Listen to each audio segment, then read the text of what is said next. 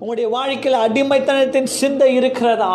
Do you still think about the slavery of sin இன்னும் பாவத்தின் அடிமைத்தனத்தில் இருக்கிறீங்களா? இன்னும் சாபத்தின் அடிமைத்தனத்தில் இருக்கிறீங்களா?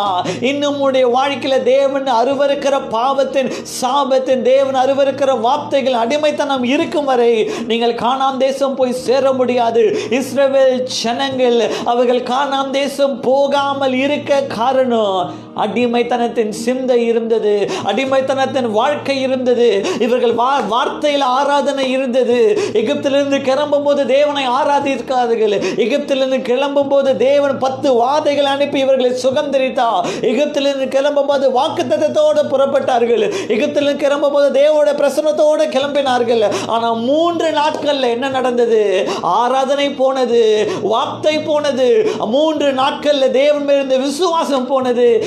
ஏனென்றால் இருதயத்தில் இவருடைய வாழ்க்கையில் சிந்தனை என்ன இருந்தது? நான் இன்னும் அடிமை. நான் இன்னும் அடிமை. நான் இன்னும் அடிமை. நான் எகிப்திலே இருந்தால் நல்லா இருந்திருக்கும். நான் அடிமைத்தனத்தில் இருந்தால் நல்லா இருந்திருக்குமே என்று சொல்லி அடிமைத்தனத்தை விரும்ப ஆரம்பித்தார்கள்.